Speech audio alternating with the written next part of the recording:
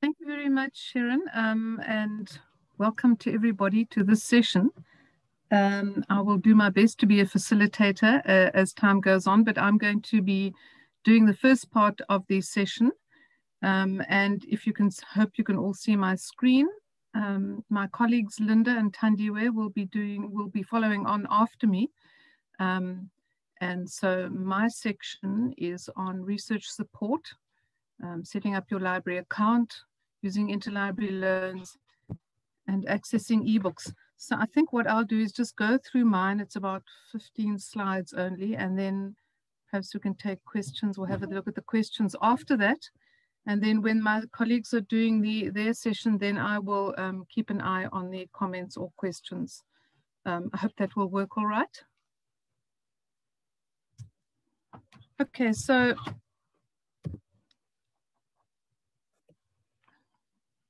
sorry, I don't. Okay, there we go. I've gone back. Okay, so um, the first thing I want to talk about is the research support available to postgraduates. So on the library website, you will find the heading research support at the top of the screen. And when you click on that, you will find a number of links on that page. Now, not everything that's available is on my screen, so I've kind of done two little double screens here. But you will find some information about research consultation and help, um, and other information about postgraduate support, research management tools, and so on. So as not to take up too much time today, I'd just like to recommend that everybody takes the time to have a look at these um, links and um, find out what is available for you. So yeah, I'm just going to go to the next one now. Okay, so before I go on, I just want to note that who is your, um, or who are your colleagues in the library that can help you with your research support. So our science and pharmacy principal librarian is Tandiwe Menze. She's going to be doing part of the presentation a little later. So her contact details are on here, as are mine. And then there's also Linda Cartwright, who is the principal librarian for humanities, and the librarian for the education faculty is Ayanda Komfo. So the next thing I want to have a look at is setting up your library account. Now it's really important um, that you do this. So if I'm speaking to um, students who have already been at Rhodes, you probably will have done this already. Um, you might just want to check your library account to see that it's current for this year. Um, for those who are new to Rhodes, you will need to set up your library account um, because very importantly, it, uh, your logins provide you with off-campus access to the databases. Um, and so that's essential because these days we are mostly off campus um, and we could be anywhere in the country. So um, there is a, a, a, tutorial that we've created. So please watch it. This um, is actually linked in, so you can click on the link and watch the tutorial in your own time. Um, it's also available on the library website under the tutorials link in the, in the menu bar at the top of the screen. But the other reasons why you need your library account is um, if you are on campus and the library is open, um, then you can, um, if you're taking books out, you can check the details of the books you currently have issued to you and see when they're due back in the library. You can also renew your loans from your screen, provided the books are not yet overdue or that they are not reserved by someone else. Um, you can set up your reading history um, and so as time goes by, you can always go to your reading history and see which books you have um, taken out in the past. You can also create lists of books, those that you might like to read at a later stage or want to dip into at some point. Um, you can see your finds if you're interested in that. Um, you can also reserve books that are currently on loan to someone else. So you will, on the OPAC, which is library jargon, for the catalog or the library catalog screen, um, you can use the place a hold feature on that. And I think Linda might touch on that when she does her um, section on using search all. And then importantly, you can do interlibrary loans as postgraduates. Um, so um, this means that you can request books or articles that are not available through our library website or databases are filling in a form and I will talk to that um, in a few minutes. So um, if you, you, this is just a little extra.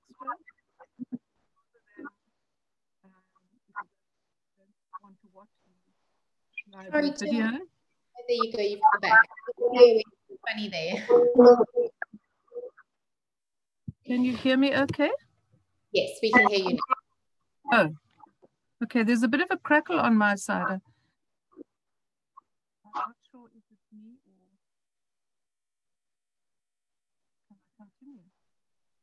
it sort of just kind of keeps going a little bit soft then coming back again. Oh, I'm sorry. I hope any people haven't missed anything. No, no, no, no. It was just um, the last minute. Otherwise, we've been here. Okay. Thanks, Sharon. Um, all right, setting up your library account, you can do that from the library webpage. Um, there's an I want to list on the right-hand side, and you will see the link to log on to my library account. Um, so to set it up, this is the screen you will see.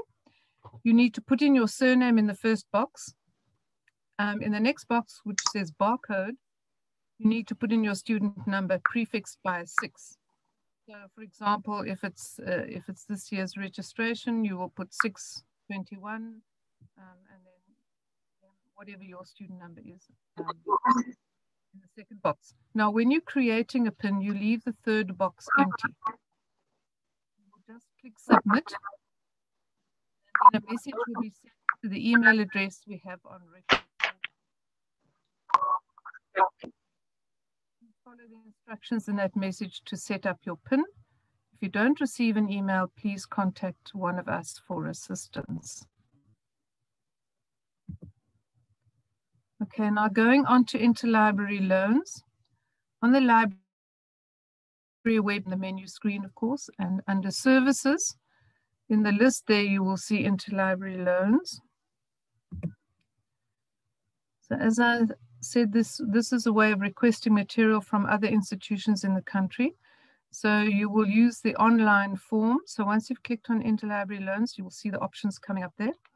So if you click on online, um, you will see the options to select um, whether it's a book you want or journal article or chapter and so on. Um, you can see the options there. I just want to note that um, at the moment, I'm not quite sure where the books are circulating in the country from other libraries due to COVID. Um, so you, you can contact the Interlibrary Loans librarian um, to confirm whether that's possible. Otherwise, um, articles usually are scanned from the supplying library and then emailed um, using the email address that we have on record for you. Well, in fact, that goes into your um, into the, the screen that you fill in. Okay, so having selected book or journal article, um, you will see the library account login screen coming up. This is to authenticate you as a Rhodes user. Um, and once that has been completed, then um, you will find a, a screen coming up where you'll need to put in the details of the item that you're wanting. So um, I think that will be self-evident. If it's a journal article, you need to put in the, the author title and the journal and so on. Um, and once you submit that, that information goes to the Interlibrary Loans librarian, who will source the item from another institution in the country for you.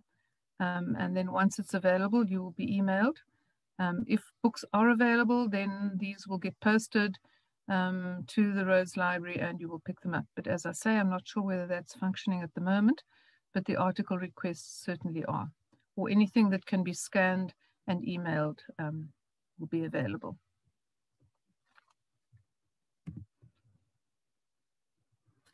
Okay, the next thing I want to talk about are the, um, the ebooks that are available through the library website. Now, I think often um, we uh, all think about ebooks. You know, we can purchase our own ebooks. Um, you can download ebooks as a personal user. But when it comes to accessing ebooks through the library, we the library has to purchase a user license. So um, the books then become available on the library catalog. so books are searchable on the library search all screen and Linda will, I think, do that a little later. And then the ebook record will be visible um, in a list in, uh, in the list of records on the screen. Um, and I'm going to show you um, a few screenshots of how to go about this uh, shortly, but um, you can always refer back to these instructions if you need to. So when you see the ebook record, you will see an available online option. And when you click on that, you will uh, the Rhodes patron link will come up either to EBSCO ebooks or um, Rhodes users link to ProQuest ebooks. So these are the main, the main um, suppliers of ebooks for the library. So on the EBSCO or ProQuest screen, please note the publisher permissions. Um, every book is possibly different. So it depends on what the publishers allow us um, to do in terms of downloading um, or printing and so on.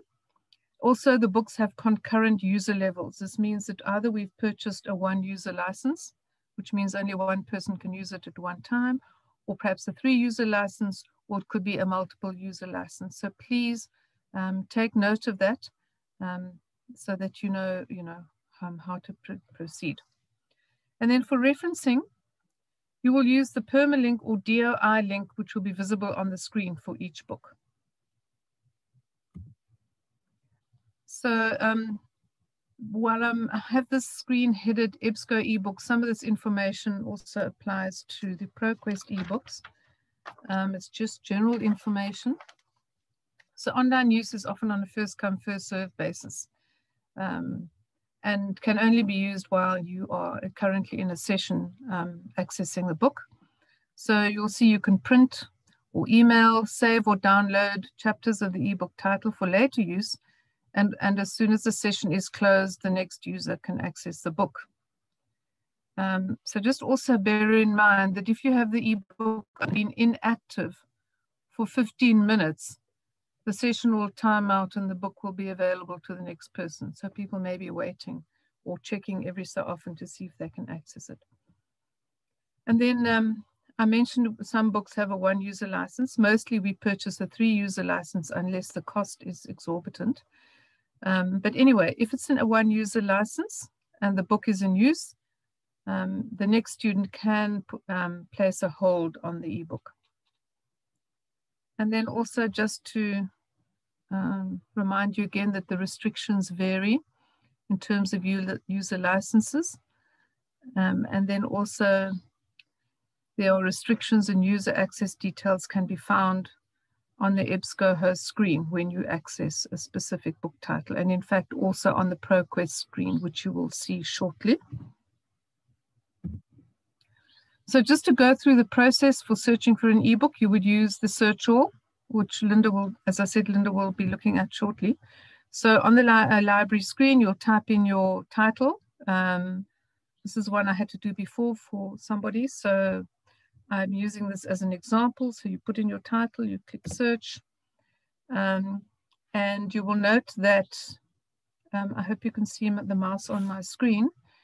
It will normally go to search all and then you would click through to select OPAC, although it's not always necessary, but if you have um, many results under search all, uh, perhaps you don't have the exact title, it might be um, something similar to the title. So in order to get to the OPAC, which will narrow your number of results, um, you could click on the OPAC. I just want to, you'll see there is the print book available and the one that I have circled is the ebook. So as I said earlier, you would click on the available online link, or when you click on that, this pops up, and you would click on the Rhodes Patrons link to EBSCO ebooks. And then one of you, once you've done that, um, let me just go back one. Once you click on the Rhodes Patron link, you're going to get the next screen that will come up will be your library account screen um, as you saw earlier. So you'd need to fill in your, your um, surname, barcode, and PIN. So make sure you set this all up before you um, try and access any ebooks or anything else on the library. So that the screen will come up for you to authenticate yourself, and then you will get in onto the, the book on the EBSCO screen. Sorry. Okay, so this is the record for EBSCO host. It displays the PDF option on the left side of the screen. Um, the table of contents is lower down. I just couldn't fit it onto the screenshot without making everything absolutely minute. Um, so you would notice when you scroll down the screen, you will see the um, table of contents. And you can then select uh, items by chapter or sections. And then also you will um, notice there are publisher permissions over here where it can tell you how many pages you can print, email or save. In this case, it's only two, so it is um, it can be quite restricted. Then the concurrent user level. So we have six copies available, which means that six people can access it at one time and others will just have to wait their turn. Now under the tools option on the right hand side, um, there you will see where you can print or save. And then the permalink, as I um, explained before, when you click on permalink, um, a link will pop up on your screen and that's one you can copy and paste into your reference list. So this enables your supervisor or anybody else you might be communicating with um, as to the exact um, online link that you have used. Okay, this is an example for the ProQuest um, book. So you would again do a search on the library webpage, the search all. Uh, and this example, you can also see there is the, the print one, which is available in the law library, um, branch library on campus. And the online version is available here. So again, you'll see available online. And when you click on that, you will see that you would be linking through to ProQuest. Once you link through, then again, you'll have the authentication screen with your My Library account coming up. And when you fill that in, then you would get into ProQuest with the actual book. Um, so remember, there may be unlimited access, uh, which is very nice for this book. You will see your institution has unlimited access. So any number of users can access it at any one time. Um, but it's also always good to read and check the availability of each book that you access because sometimes they are not um, uh, unlimited access. Your link to read online is available. It tells you how many pages you may copy.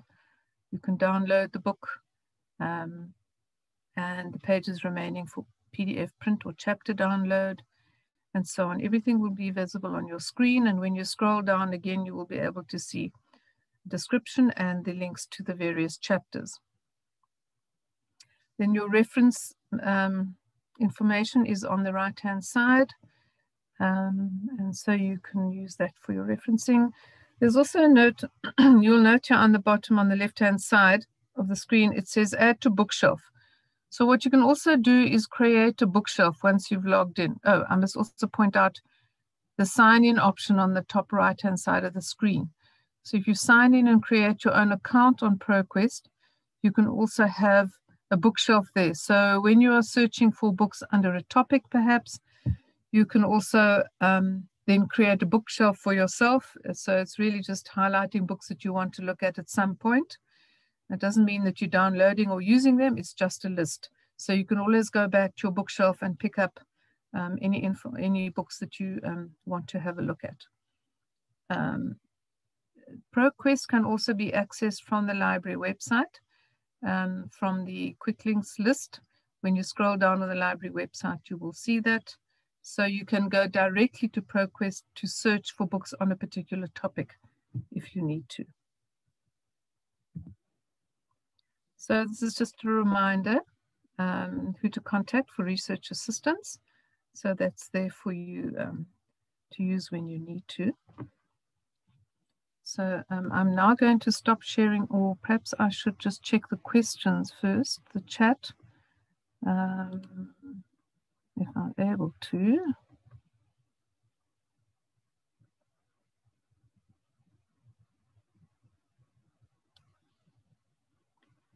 Don't seem to be able to see that. So I'm going to stop sharing my screen and see if I can get to the chat from there. Okay.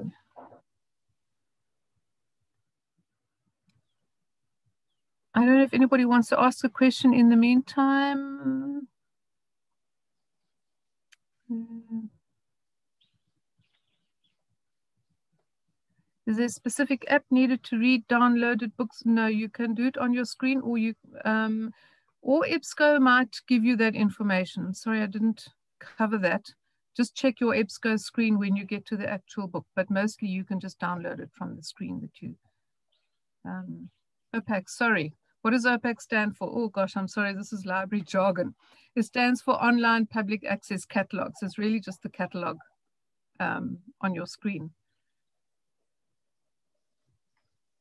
Okay, yeah, then Sharon, thank you for answering that question.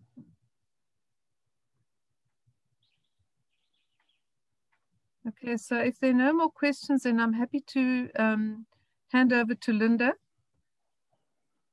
to share her screen. Okay, thanks, Jill.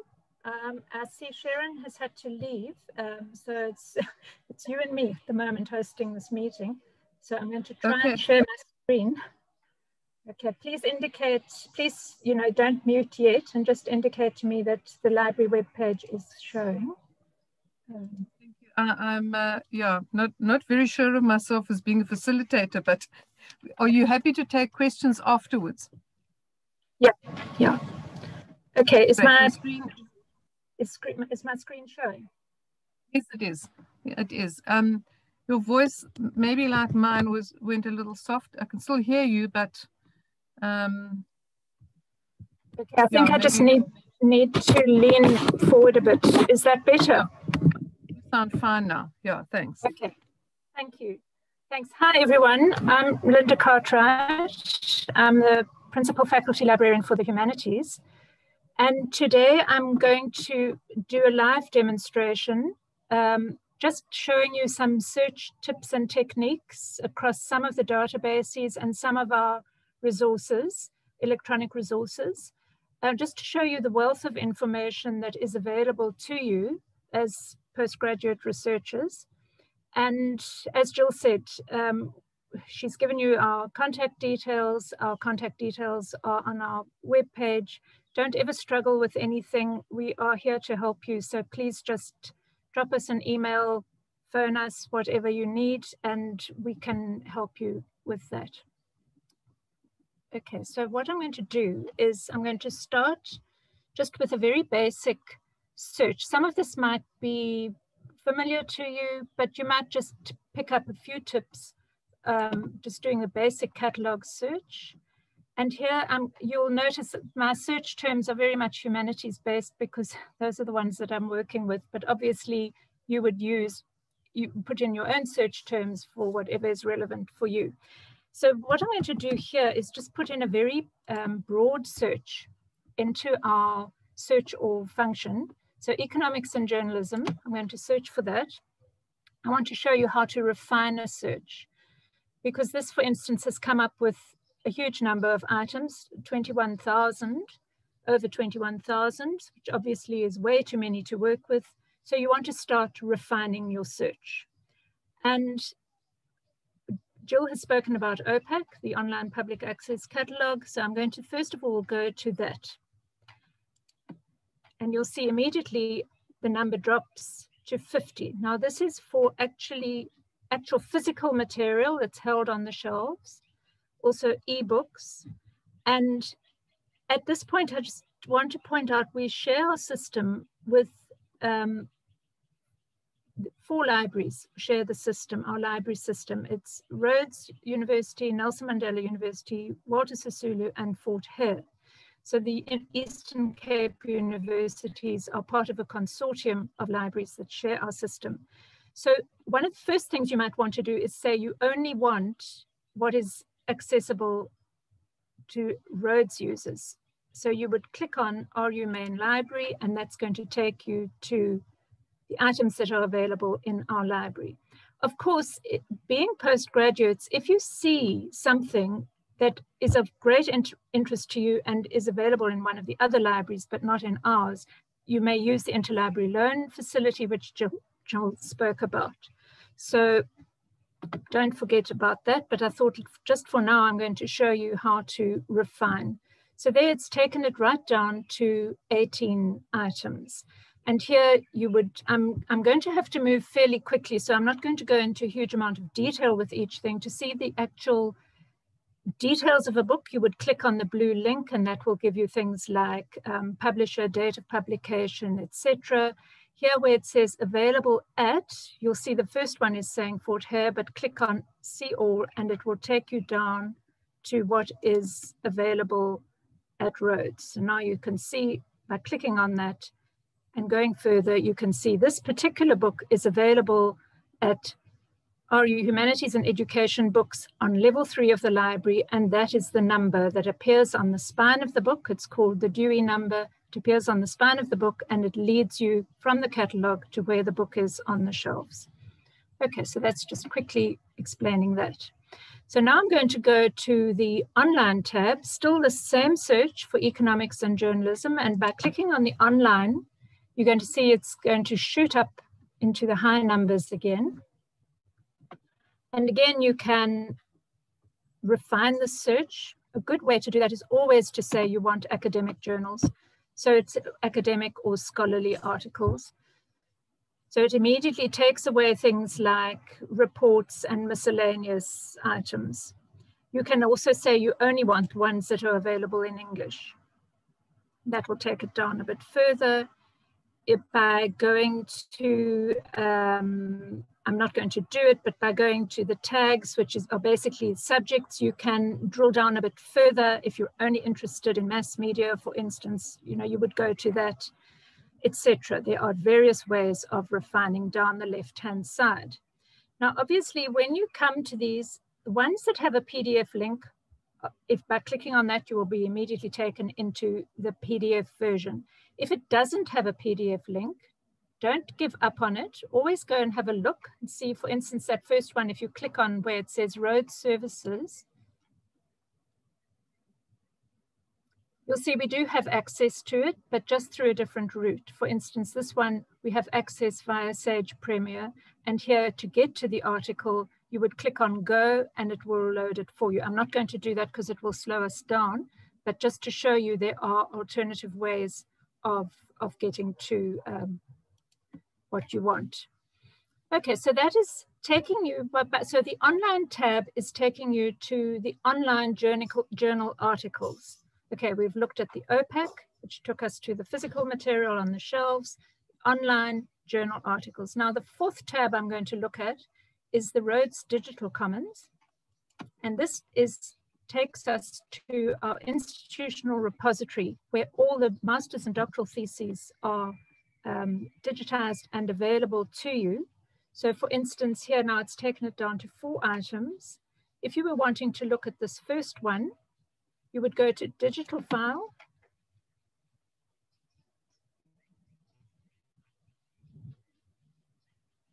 Sorry, it's taking a bit of time. And there is this, um, it's a master's thesis, you can see here. And in order to look at it, you would scroll down, right down to the bottom where it says PDF, and you would go to download, and you would download, I'm not as I say, I'm not going to do these downloads because it will take too long and it will load the thesis for you to read um, as, as it appeared when it was submitted. So it's, it's a wonderful facility, the, the, um, the digital commons. Okay, so now I'm going to go back. Whoops, sorry, I'm just battling a bit to get to, to click on my There we go. Okay, so I'm back to the search. So that is basically how you search using the tabs along the top, the four tabs along the top, and then the facets, as we call them, down the left-hand side to refine your search further. So that is just very basic searching on our search all facility. I'm going to go back to our homepage and just a quick tip, click on the badge, the Rhodes badge at the top left-hand corner, and that takes you back to the homepage.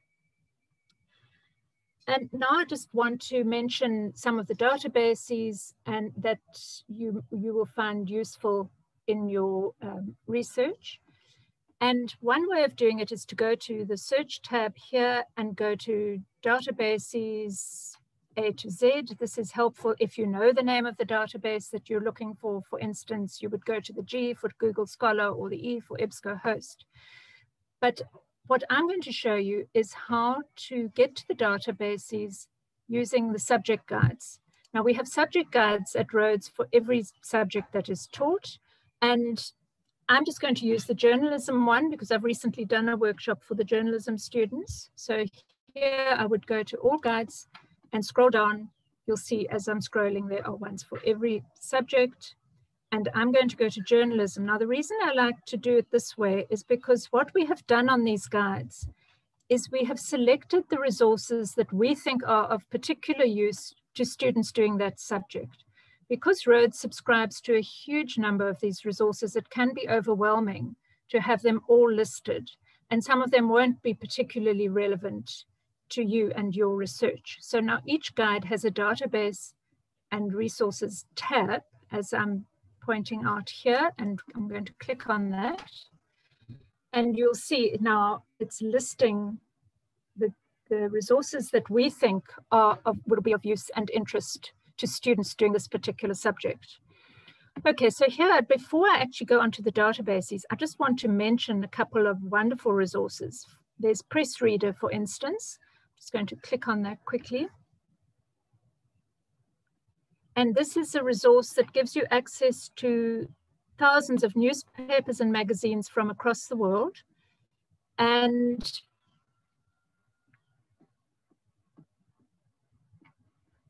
and you have access to these at any stage. You can download the app onto your devices and access these for, for um, work or for leisure reading. You'll see there's a wide range of um, material available. So do explore that in your own time. I'm not going to go into any of that in detail, but just to make you aware that it is there for your, for your use. Okay, then here in this next box, it says ProQuest ebooks and dissertations and theses. Now, Jill spoke a lot about um, ProQuest eBook Central. I'm not going to go into that now because she has shown a lot of a lot of that. Um, but what I do want to make you aware of uh, is this ProQuest dissertations and theses. It gives you access to nearly two and a half million theses from around the world. And this is a fairly new resource. And sorry, you just have to click on that again. And I do want, want you to be aware of it. And here I'm going to do a search. I'm going to do an advanced search on the platform. And I'm going to put in um, African literature as one of my topics. And then in the next line, I'm going to put um, oral tradition. And the reason I've used the inverted commas on either side is so that it searches for African literature as a phrase and oral tradition as a phrase. I don't want it just picking up theses where the words African and literature and oral and tradition come, if you see what I mean. It needs to search for those as specific phrases. And you'll see throughout um, the demonstration, I use these um, inverted commas a lot. And that's what they're for, is to denote a phrase.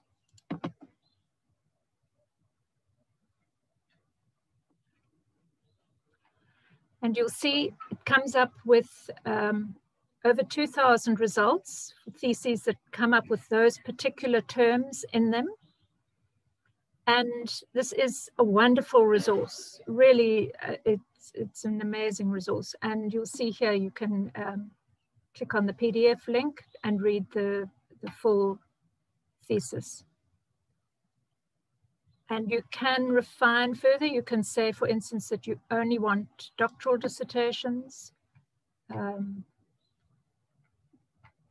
not sure, I can't see my, it doesn't seem to have taken it down to any further. But anyway, there are ways of refining. You can um, say you only want in, within the last 10 years.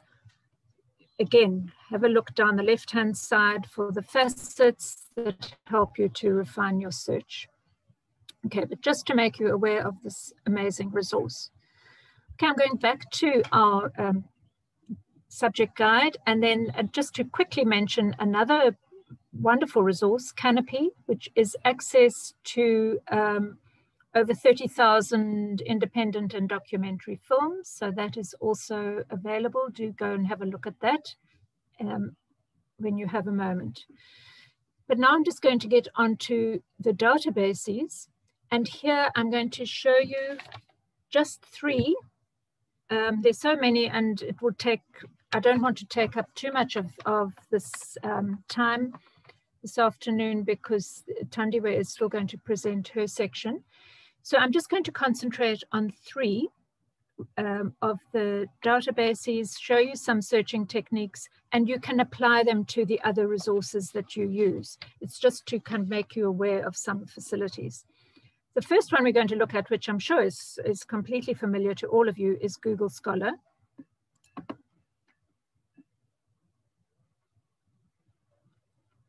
And here, as with all of these, I am going to do an advanced search. It's always better to choose the advanced search option because it gives you more flexibility in your search. And I'm going to look for articles that have the words representation, identity, and social change. Now you'll see I've used the exact phrase line and put social change in there. Now Google Scholar gives you that option to use an exact phrase. So here I don't need to put the inverted commas in because it's going to search for it as a phrase. But if it didn't give me that option, I would need to put um, inverted commas. And then it's going to search for uh, articles that also have the words representation and identity. And I'm searching. And now here, what you look for with the Google Scholar search are the blue links down the right-hand side, because those are the articles that we have access to because of our Rhodes subscriptions. Now, Jill was talking about how important it is to set up a library account. If you have had searched for this, the, if you had done this search and you were not on campus that were working off campus and you had not logged into your library account, these blue links would not come up down the right hand side because the system needs to recognize that you are a registered Rhodes student or staff member. And the way it does that is by you putting in your library account details. As soon as those are in, you are then recognized as a user and you have full access to our resources. So that is why it is so important to, um, to, to have your library account sorted out right from the start of your research. Okay, so that I'm not going to, you know, go much further. I'm sure you're all very familiar with Google Scholar, but also while we're on Google Scholar, just to show you, and I will, with all these resources, it's really nice facility to be able to create a search alert. Now here on the left-hand side where it says create alert, you would go to that, click on it, Here's your search string. You would put in your email address. I'm not going to do that because I don't want to be emailed with all these, um, these searches. And you can then set up this alert so that you will be emailed every time new uh, material comes in on your particular search topic. So it is a fantastic way, way of staying current with the, with your research. So you will be alerted every time there's new material coming in. Okay, so that's Google Scholar. Um, sorry, now I need to get back to my screen. And the next one I'm going to show you is EBSCOhost, Research Databases. I'm not sure if all of you are familiar with this one. EBSCOhost is actually a platform that hosts a number of different databases. It is a, a great uh, multidisciplinary resource. And the, the idea with EBSCOhost is you select the, the databases that you wanted to search across. So for instance, I'm going to do a search um, for post-colonial theatre. And um, for this one, I'm just going to stick with Academic Search Premier, which it defaults to, and it is a wonderful resource. But if you were, for instance, doing something to do with psychology, you would select, for instance, APA PsycArticles, psych info, etc. Journalism, you would select communication and mass media complete. Um, and as I said, just and the you know the the science ones as well. You would scroll through, select what you think would be relevant for your research. But for this demonstration, I'm just going to select Academic Search Premier, and I'll say continue. And here again, I'm going to select the advanced search.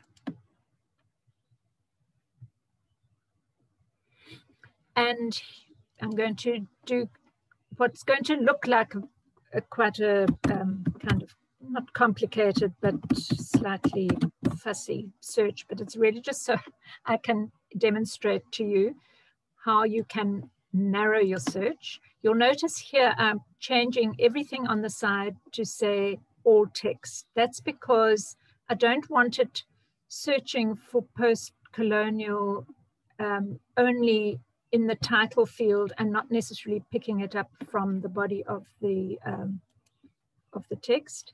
And then I'm going to put an alternative spelling.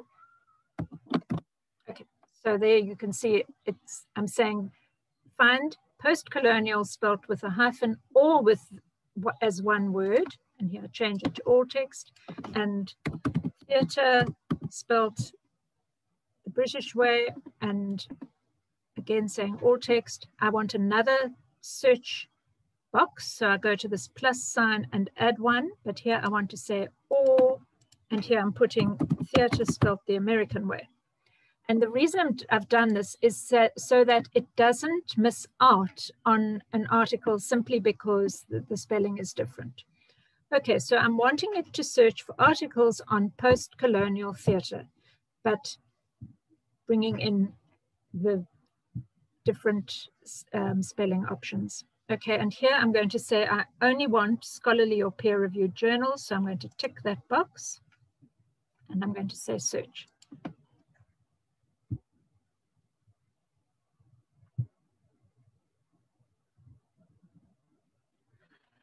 And it's come up with 182,000 items. Now here you can you can limit it by date. So here I'm going to say I only want say from I'm moving this along and saying I only want from maybe the last 20 years. Okay, let's say from 2000 and it's updating the search.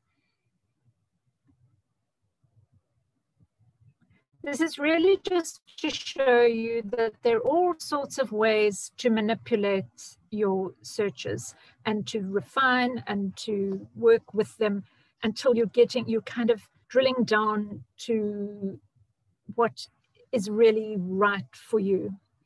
Okay, so let's just see, it didn't reduce it by a huge amount.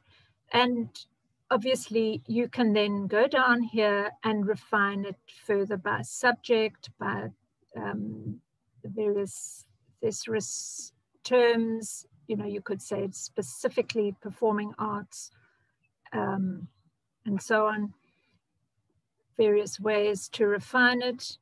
And here again, obviously where there is a PDF link, you just click on that, you get the full article. But let's again just go say this, this first one is the one you really want It doesn't have a PDF link, but let's just check under the SFX button or Rhodes services.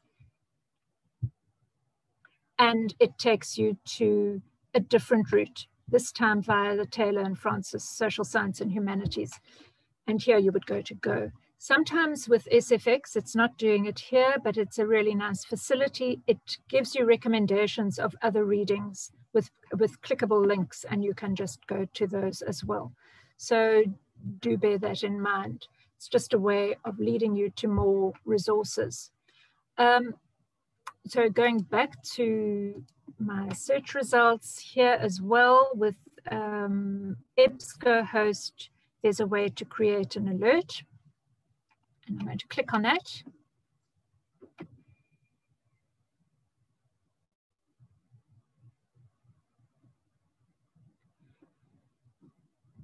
And here you would set up an alert the same way with Google Scholar. Each of them looks slightly different. Here you can select you want it once a week or once a month, etc. And you would put in your email address and you will then be emailed whenever uh, new material on your particular search topic comes in. Very nice facility.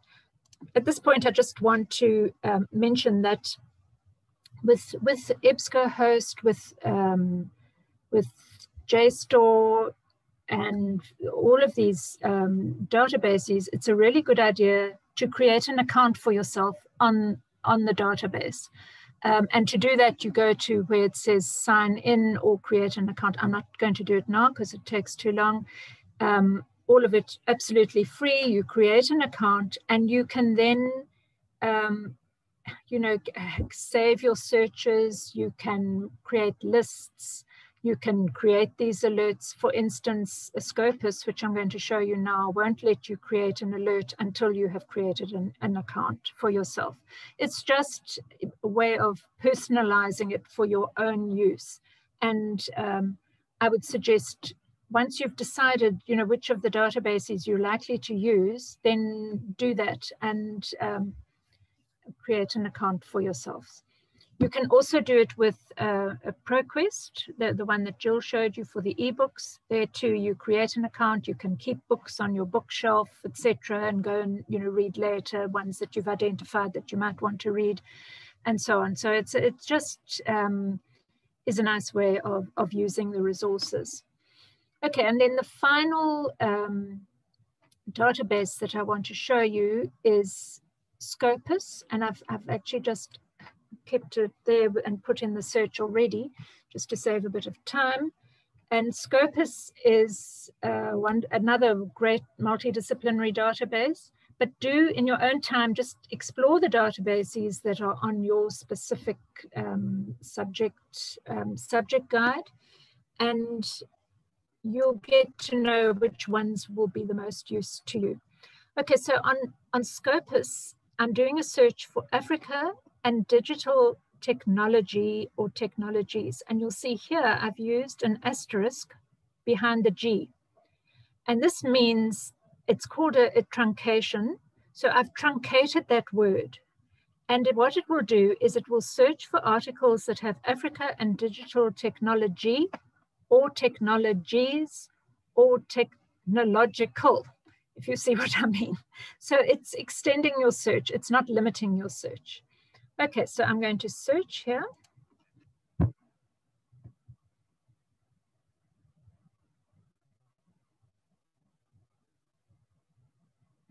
and you'll see it's come up with 266 document results and you would go down see what you want to read click on it etc and here too you can refine your search by year by subject etc um, you can say you only want articles that would take it down to 172 items, etc. So always down the left-hand side, there are facets to refine.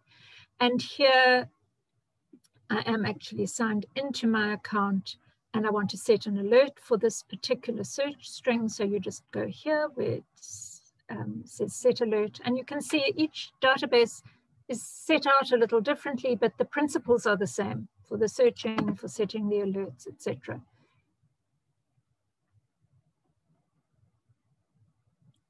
Oh, it's not actually, oh, here we go, sorry. Um, and here it's, here is my um, search string and I would then set up, uh, the battery in my mouse has just gone died on me. That's not very nice.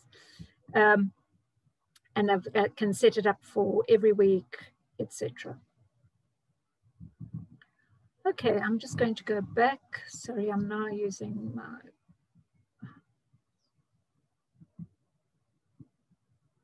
go back to this database page and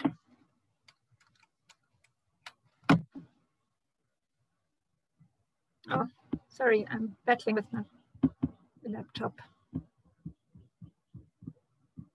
Okay, and here, over here on um, under A to G, you'll see there's a, a, resource called Access World News. Just want to make you aware of that really wonderful resource linking to newspapers around the world. So do be aware of that. It's a product from um, Newsbank. And then these three resources are also Newsbank resources, African newspapers, wonderful historical newspapers from 1800 to 1925, um, with examining um, at your leisure, fantastic resource.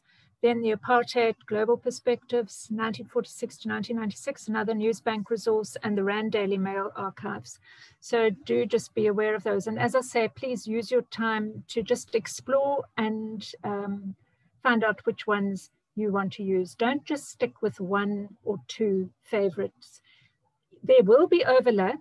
Um, for instance, you'll find if you do a JSTOR search and a Google Scholar, you're going to come up with some of the same articles, but you will definitely pick up more, the more the, the wider variety of resources that you use. Okay, so that is pretty much what I wanted to cover and um, I'm going to hand over to Thandiwe now. Um, Linda, may I interrupt? I, I see that there are um, two questions before we go to Thandiwe. Um, oh, I found um, from Ashley. Um, she says, I found that it logs me out of Rhodes Library if I'm signed into JSTOR, etc. Is there a way around this? Um, and then there's one more question, but perhaps, I don't know. I haven't experienced this, have you?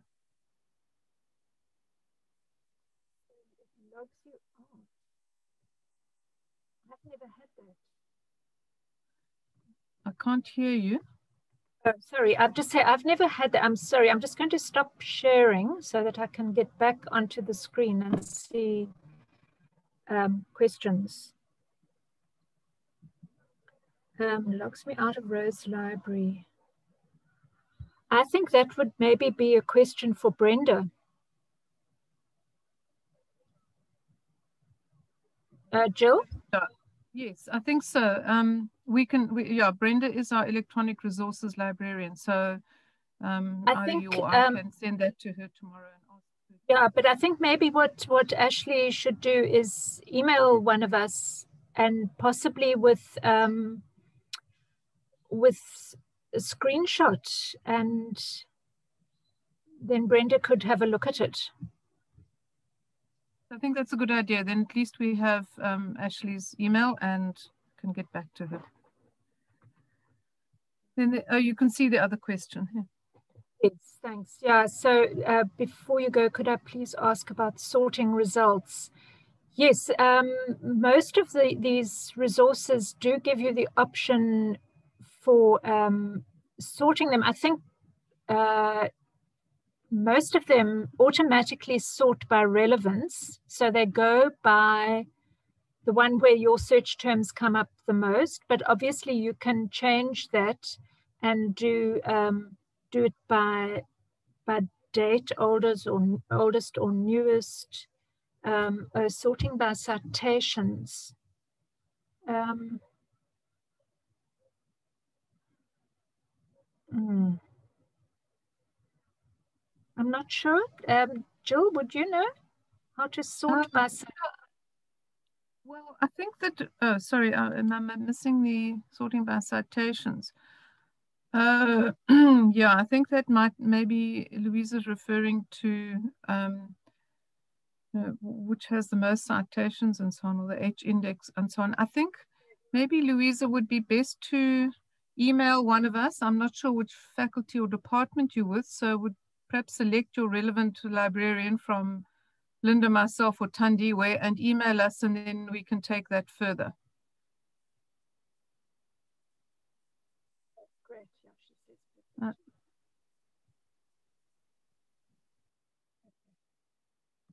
yeah, I think that's something that uh, we can't explain quickly now. Okay, if there are no further questions for me, I'm going to just mute myself so that Thandiwe can, can do her section.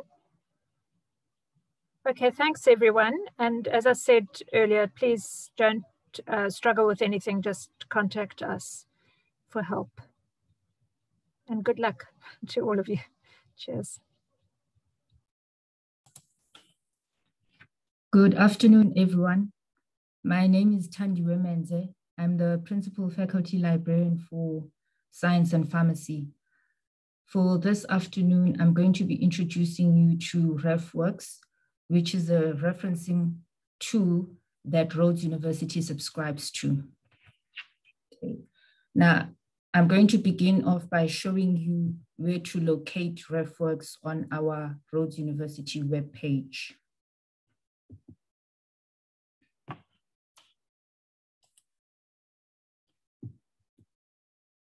Okay, so you will see on the landing page of the library web screen, if you scroll to the bottom under quick links, you will see the RU, the RefWorks new version link.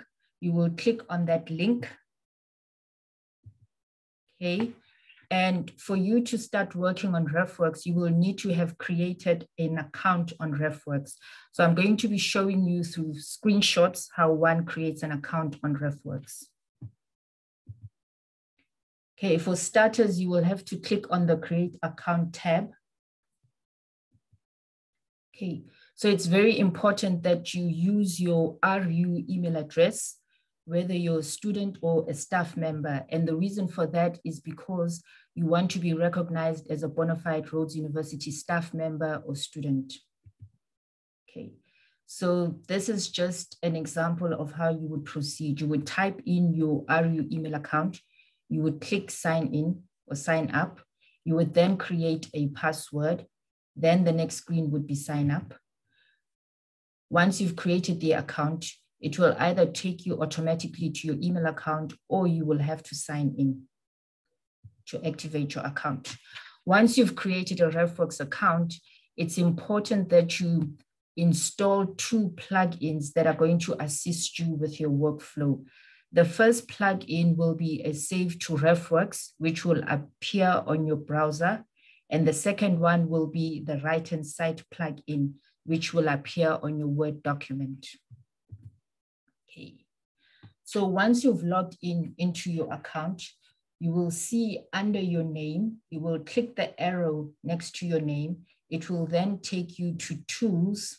You will click on the link or the button tools. And the first option would be to install the Save to RefWorks plugin.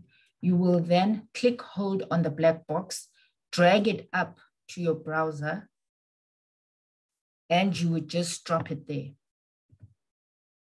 Once you've installed the Save to RefWorks button, you will then move on to download and Write-N-Cite for your Word document. Okay, so these are just the steps that you would use. Okay, so once you've done that, I'm going to show you I'm not going to be doing actual searches on the databases, but I'm going to show you through screenshots how you would then export references from the various databases. Now, my colleagues have touched on some of these databases. We're first going to begin by exporting from Search All. So once you've undertaken a search on Search All, you will then if you're interested in some of the references, you will then select the reference that you want to move to RefWorks.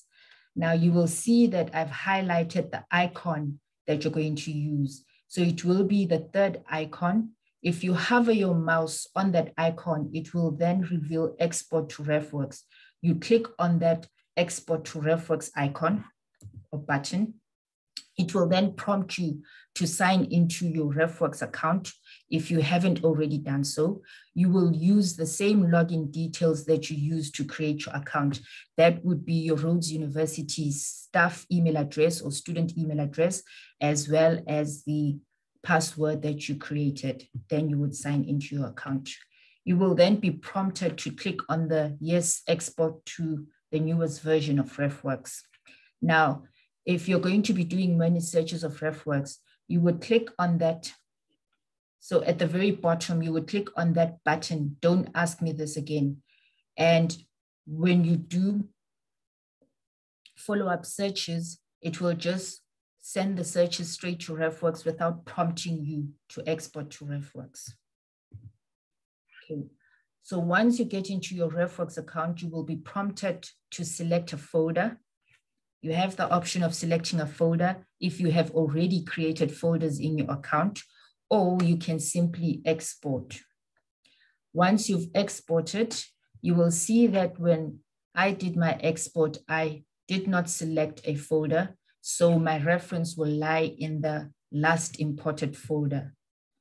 Then I will just import and it tells me that a reference has been moved to RefWorks. And I will then click on that folder, but I'm going to show you that later on.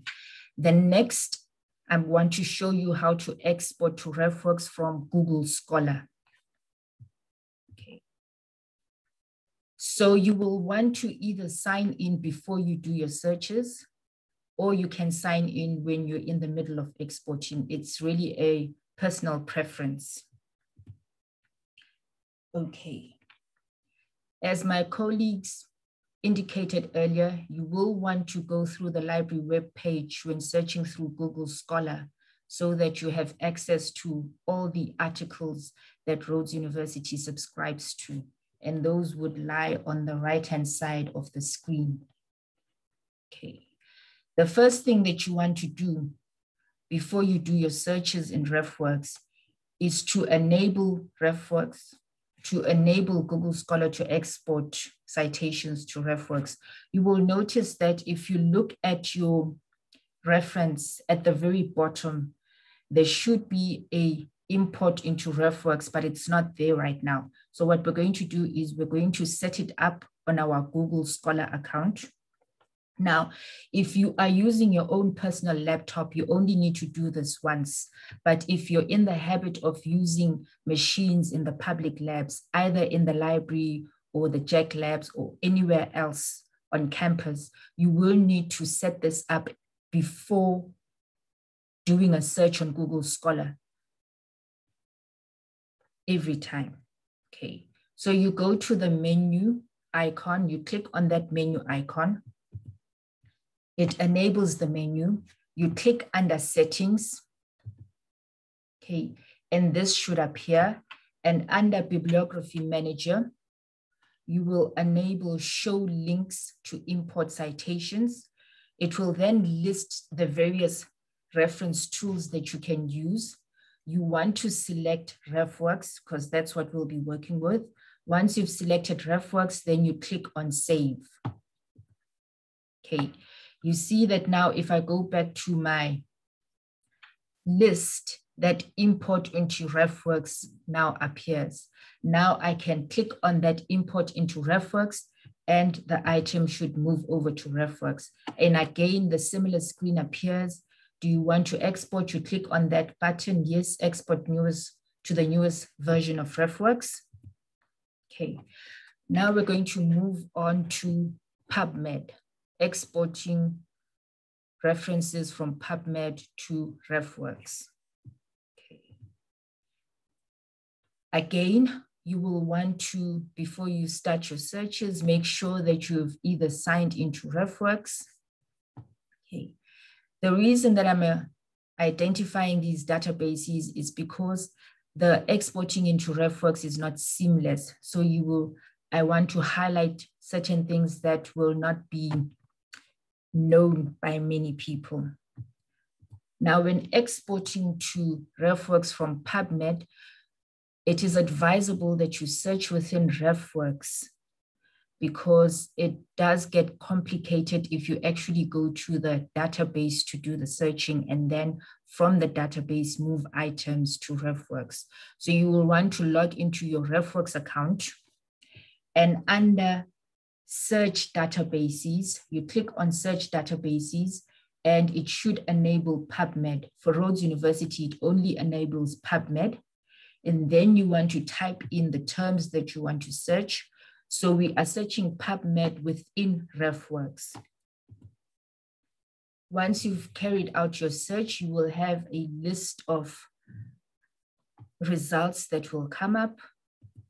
You then want to select the results that you prefer and you do the selection by ticking inside the box.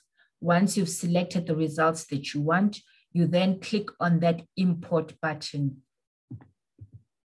Okay, you will see at the very top, it will show that green button. So it says that you have successfully moved or imported two references.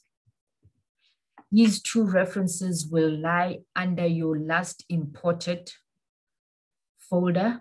You would then need to click on that last imported folder so that you can view the references. Okay.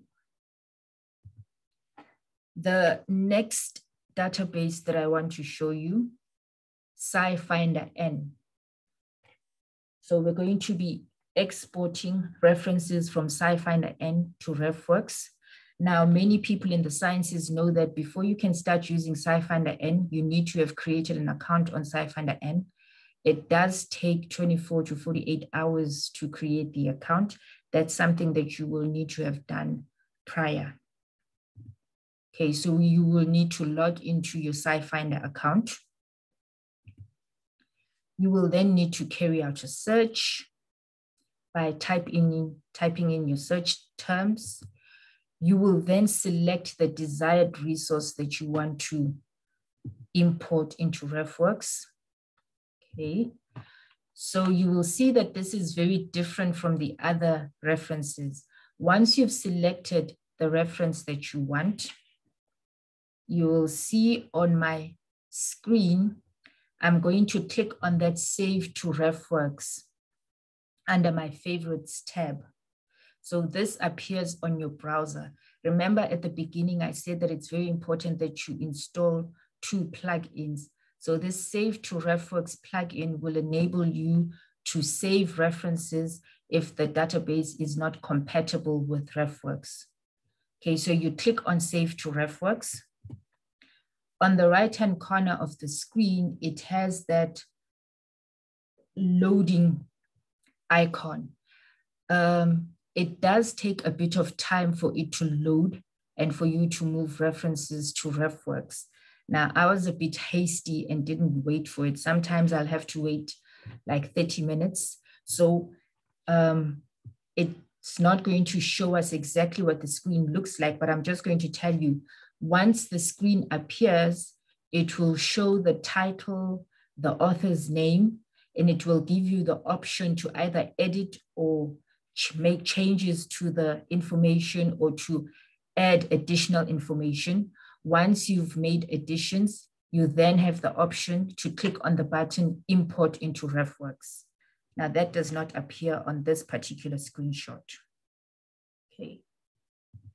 The next database that I want to point out, this will be exporting from Scopus into RefWorks. This is fairly easy. Okay. So you will have done searches on your database. Just need to make a bit of correction. It's actually Web of Science and not Scopus. So I would have carried out a search on my Web of Science database. I will then select the results that I want to send to RefWorks. Once I've selected by ticking inside the box, I will then click on the export button.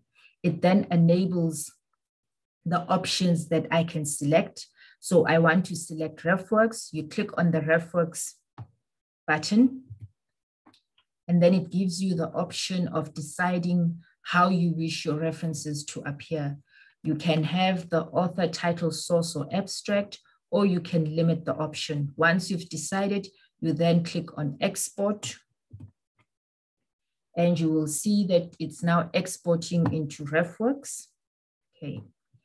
The next particular thing that I want to show you is once you have exported your references to RefWorks, I want to show you how you can format and start sharing folders on your RefWorks account. Okay. Okay, so we're going to start by sharing folders. Once you're in your RefWorks account, you click on the sharing drop-down arrow. So you have the option of sharing at an institutional level or sharing amongst individuals. So you can select a folder that you want to share at an institutional level. That means that you make it available for anyone within Rhodes University to view, to view the folder.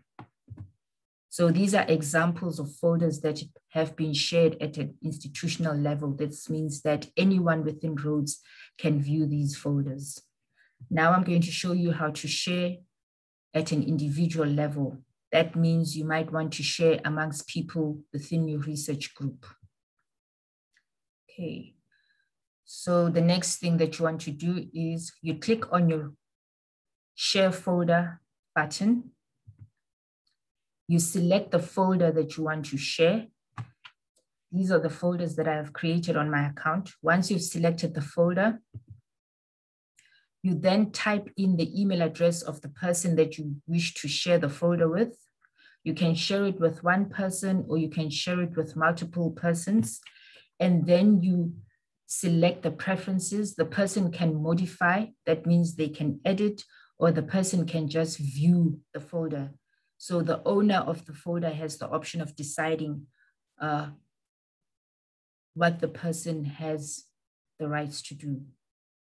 Okay, once you've done the selection, you click on done. And then the person receives an email telling them that uh, someone has asked them to collaborate on a particular folder on RefWorks. They would then need to log in and view the folder. Okay. The next thing that I want to show you is how to manage output styles on your RefWorks account. Okay, so this is from the Word document. Once you've signed in, it's going to show you the output styles that you generally or normally use. So to manage your output styles, you will need to sign in into your RefWorks account. You will need to click on the citation style edit editor button. You will then click on new style. You can do a search for a style from the library on RefWorks that you want to add to your account. Once you've viewed the style, you have the option of editing the style.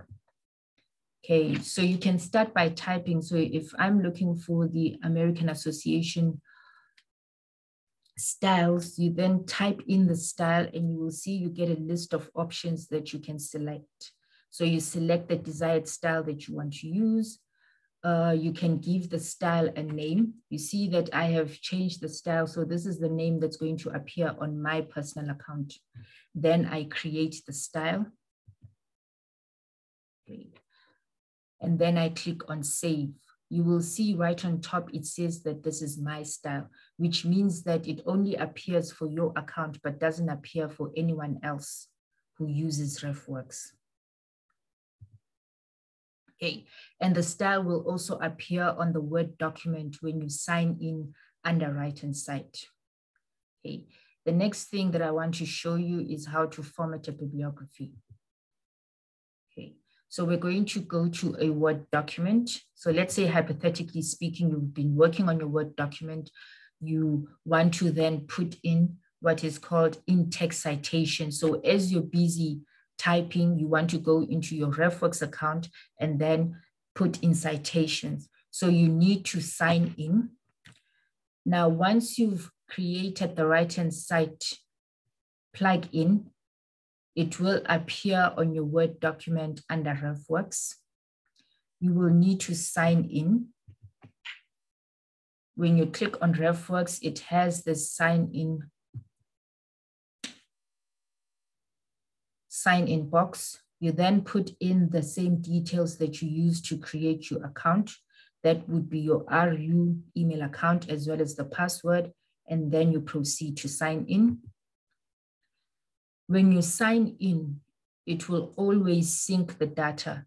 So let's say just before signing into your RefWorks account on your Word document, you were busy populating your RefWorks account, doing searches on databases and importing references into your account. It's then syncing it so that it's all synced, your account as well as your plug in on the Word document.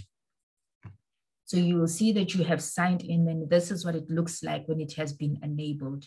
you see the output style M AMA. This is the style that you will have used in your previous searches when you were working. It always defaults to the last style that you used.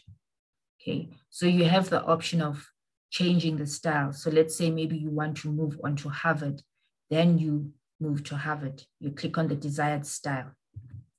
Once you've done that, you go to insert citation, which is on the left-hand side of the corner. You click on insert now.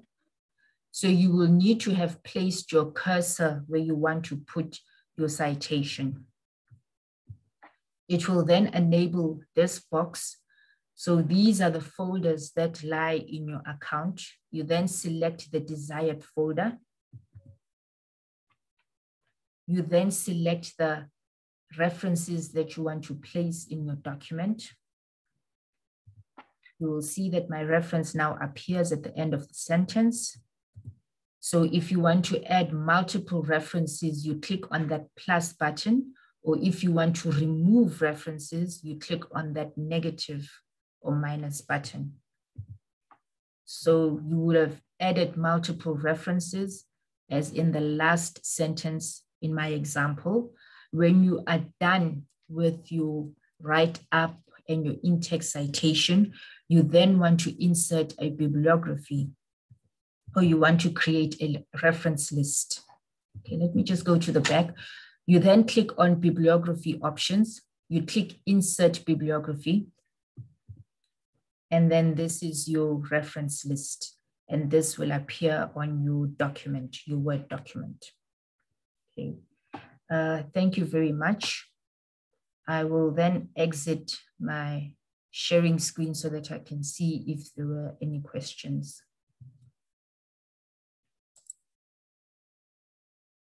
Okay. Okay, I see my colleagues have been busy responding to questions.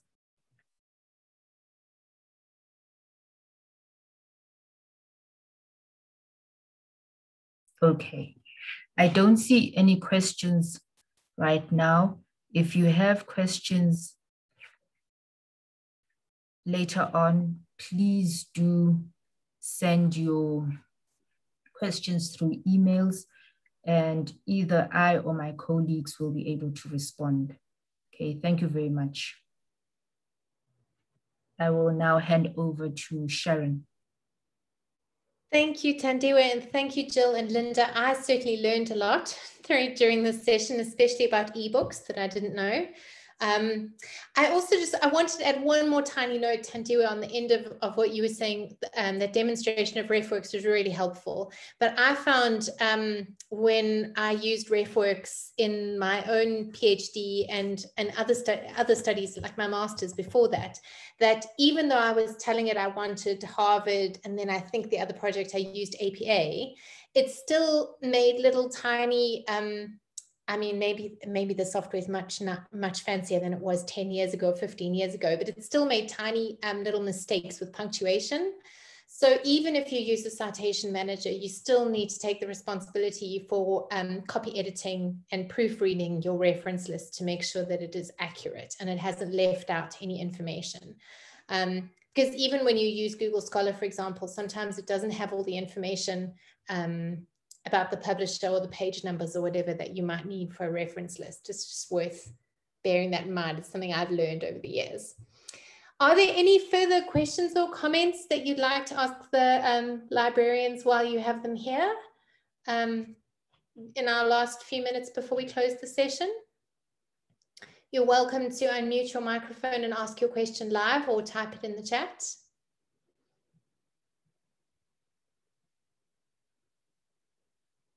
Oh, thanks, Vainan. So Vainan says you can edit the punctuation in the um, in the fields in RefWorks. That was probably my problem. I probably didn't do it properly in, in the citation manager itself. So it just spat out what I told it. It's useful always to remember, isn't it, that these are just machines. They can't think.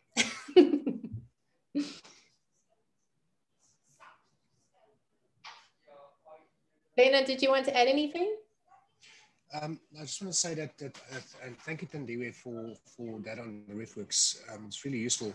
Um, I ended up creating my own separate styles based on like Harvard, whatever. And I think um, it's good also if departments look into it um, because you can create a very specific departmental um, interpretation of a specific style. But there are a number of issues I have with references.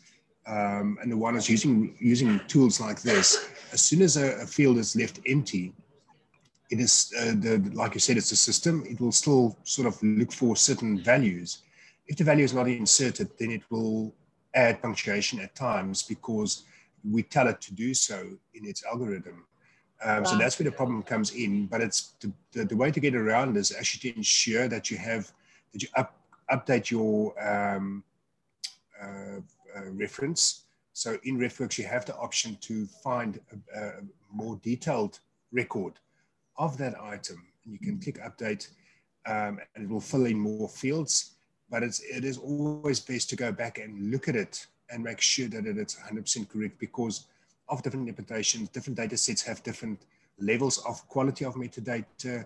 Um, and for consistency's sake, it's, it's best to check it before you run your final bibliography. That's really good advice. Yeah. I think it's always useful to remember that these systems are fantastic. These tools are fantastic, but they're just, and they can't do the thinking work for us. We still have to take the responsibility. Yeah. yeah. And just to if add to Venant, yes, just to add to Venant, the place where you do the editing is under managing output styles that I showed in my presentation. So that's where you would do the tweaking with the commas and the full stops before you run the final document. That's very helpful advice. Thank you. Um, uh, apologies, I just want to add something. Yes, go ahead. I'm sorry, I don't want to take over, but I work a lot with citations nowadays. And um, the one thing that I, I, would like to say, this, this actually links to something that Jill or Linda said. Um, please remember to always add the DOIs to all your references because it helps citation um, analysis afterwards. And the DOI is actually uh, central to this whole um, data analysis going forward. But you can also set up like, I, I can't remember it was Jill or Linda that, that showed you how to set up a, a search um, notification on Google Scholar. What you can do if you're an editor or when you've published an article, you can then enter the, the DOI in the search field and it will alert you immediately if somebody has cited you um, or if somebody cited one of the articles in um, a, uh, you know in the journal that you might be the editor of. Um, so that's another way to use the search string, which is really nice. And very useful when you do all start publishing to track your citations, um, which are very helpful down the line for applications for promotion and probation and job applications and all sorts of other things. Louisa asks, can one categorize citations? Uh, in what way, Louisa? Do you want to maybe just ask your question, unmute your mic and ask your question? Hi, no, I'm just thinking because I've never used RefWorks before, but if we were grouping citations on a specific subject or a, a, specific sort of category or theme, if I can put it that way, yeah, a theme would actually probably be good. Can one do that so that this would be related to theme X? Yes, you in can. In terms of our research. Yes, you can do that. The simplest way would be to create a folder and group all your citations under folders. Okay, yes, thank you. Okay. And Venant also adds to that by saying you can add tags as well. So you can create a set of keywords and you can tag your your resources with keywords and then you can search for keywords and those will it'll it'll find those.